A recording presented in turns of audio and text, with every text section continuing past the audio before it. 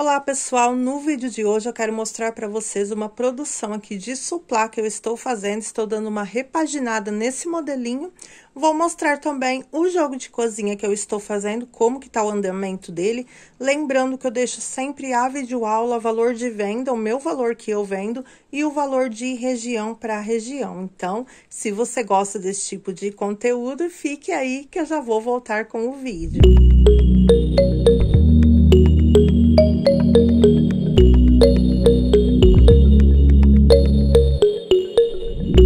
Olá meninas e meninos, sejam todos bem-vindos ao meu canal. Meu nome é Erika e desde já muito obrigada a cada um de vocês que está aqui comigo. No vídeo de hoje, gente, eu estou fazendo aqui um jogo de suplá que vai ser enviado junto com o jogo de cozinha que vocês logo logo vão estar cansados de ver aqui no canal.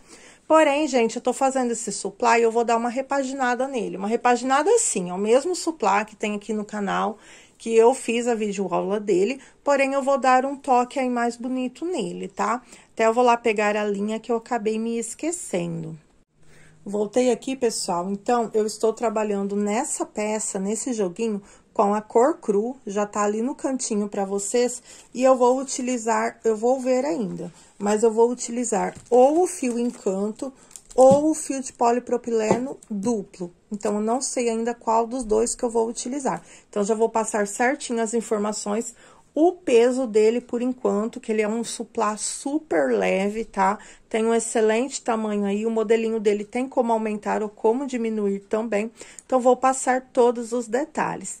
E, desde já, né, Peço para você aí que ainda não é inscrito, se inscreve aqui no canal, ativa o sininho de notificações no modo todas e deixa, gente, o joinha que é muito importante.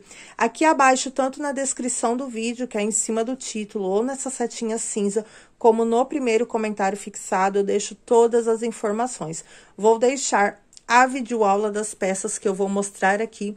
Vou deixar os contatos da fábrica de barbantes crochética, tá? Hoje, gente, eu estou gravando esse vídeo dia 16 de dezembro de 2021. Os pedidos para quem quer receber ainda esse ano os seus barbantes tem que ser feito até o dia 17, tá? Então, só amanhã aí para vocês fazerem os seus pedidos para entregar ainda esse ano. Já pedi o meu kit hoje, tem um kit lá em promoção. Então, dá uma perguntada lá, fala que viram aqui no canal da Érica que eu vou ficar bem contente. Aqui abaixo tá é, o site da Crochética, três números de WhatsApp, tem o endereço da fábrica, tá? Mas nos vídeos, nos próximos vídeos, eu vou passar todas as informações necessárias. O Instagram também e o WhatsApp da U Design Laser, que é parceira aqui do canal também, com as etiquetas, tá aqui abaixo, tanto na descrição do vídeo como no primeiro comentário fixado. Comprando 200 etiquetas de qualquer é, uma delas, seja de courino, de acrílica, de qualquer formato, vocês ganham uma, pra, uma plaquinha personalizada, mas digam que viram aqui no canal da Érica, tá? E, gente, meu Instagram aqui abaixo desses contatos tá a minha loja na, lá da Shopee, que foi feita essa compra aqui a minha loja no Elo 7, meu Instagram e meu Facebook, tá? Minha página no Facebook. Espero vocês por lá. Então, gente, já vamos mostrar logo o suplá e o jogo de cozinha.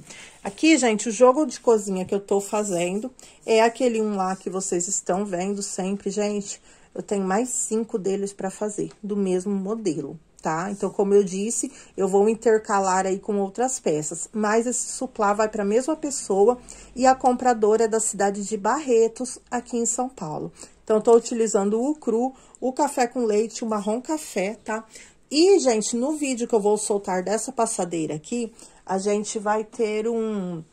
Meu porta-copos aqui voou aqui por cima, gente. Eu deixo o porta-copos aqui. É, no vídeo que eu soltar essa peça aqui, a gente vai discutir a respeito de fazer por produção ou por peça. Mas só no vídeo quando esse joguinho aqui estiver pronto, tá, gente? Então, vou deixar a videoaula desse jogo aqui abaixo, caso vocês queiram ver. Mas o assunto de hoje é o suplá, tá? O suplá, gente, olha só, já fiz ele em várias cores, porém no cru eu ainda não havia feito. E olha só, gente, que lindo que ele é. Olha só. Aqui dá a impressão que ele é bem aberto, gente, mas não é. Dependendo do ângulo que tá o celular aí, tá? Olha só, gente, que lindo. Ele é uma toalhinha muito linda. Eu vou pegar um vermelho que eu tenho aqui pronto. Eu já tenho um vermelho aqui, gente, pronto, arrematado, com etiqueta, tudo, olha só. Que esse daqui vai junto com um pedido grande lá pro Goiás. Então, eu já tenho esse joguinho aqui pronto. E, gente, ele tem picô na ponta, ó. Se se dá aí pra vocês verem. Então, ele tem picôzinho na ponta. E o que que eu fiz com esse daqui? Então, eu estou fazendo, tá? Tô produzindo. Hoje, gente, como eu disse, vocês estão vendo em tempo real. Hoje é quinta-feira de manhã eu precisei sair, tive compromisso lá na escola do meu filho. Depois eu voltei até na hora do almoço, eu acabei me enrolando aqui em casa, né? Mas eu fiz um e iniciei o outro.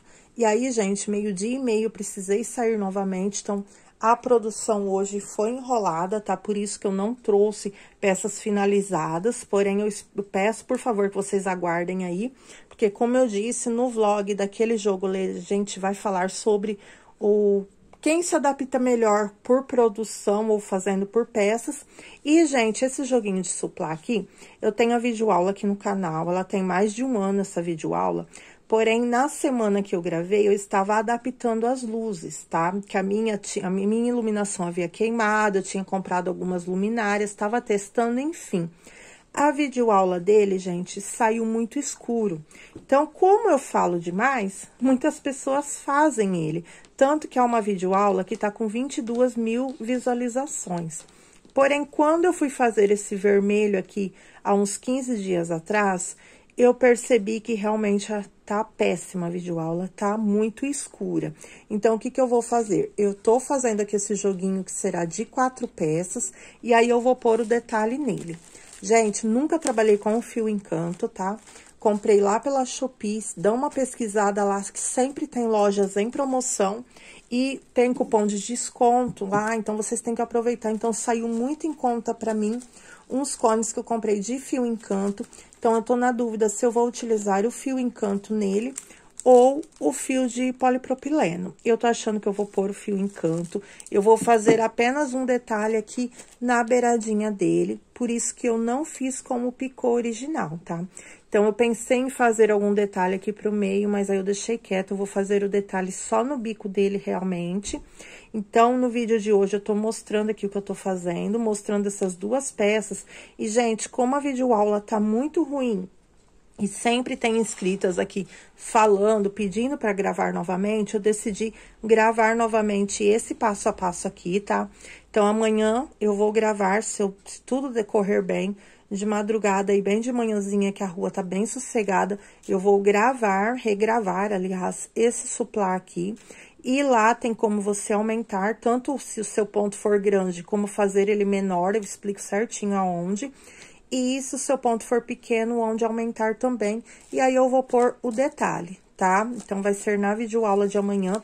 E aí, eu vou aproveitar, aproveitar para gravar a versão destro e canhoto, porque quando eu gravei, só tinha a versão destro, tá? E como não tinha experiência, né, falava demais, então vai ser uma videoaula aí mais curta. Vou mostrar pra vocês, gente, quanto que ele tá pesando, tá? Olha só, gente. Aqui no caso, então, da receita original, só estaria faltando os picôs. Olha, gente, 106 gramas. E aqui, vamos ver o outro. Fio número 6, tá? Agulha de 3,5 milímetros. 107 gramas. Então, pra gente tirar a dúvida, eu vou pesar esse aqui que já tá pronto. 106 e 107 gramas. Olha, gente, 115 gramas.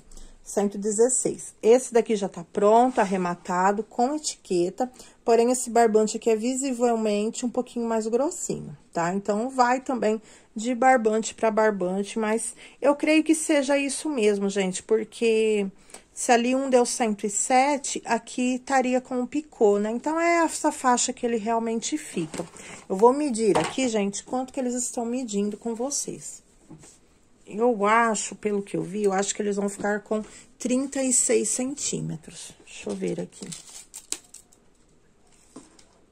Olha, gente, não, ele tá com 37 quase. Então, aqui eu vou passar o detalhe, 37 centímetros. Tem muitas amigas que eu vi aqui no YouTube que fizeram esse soplazinho aqui, e ele fica em torno de 38 centímetros. Peguei o celular na mão aqui um pouquinho mais de perto para vocês verem. Olha só, gente, que gracinha. Então, gente, como eu disse, eu vou gravar aqui a versão destra e canhoto, vai sair no canal amanhã, junto com o detalhe aqui. Então, hoje, quinta-feira, eu vou terminar esses dois, eu vou fazer o, o terceiro que tá faltando, que eu iniciei ele agora. Então, vou fazer ele até o ponto desses dois. Vou passar o dourado em volta deles, pra ver como que vai ficar, como que eu vou me decidir ainda a passar. E amanhã cedo, então, eu faço o quarto. Depois eu venho com a videoaula, com o vlog separado, valor de venda, tudo certinho. E um vlog separado ali para o jogo de cozinha, pra gente falar sobre aquele tema, tá? É, deixem aí abaixo se vocês já fizeram esse modelinho aqui pelo canal, tá? E aguardo vocês, gente, na videoaula, para pelo menos deixar um joinha aí para ajudar o vídeo a subir, tá?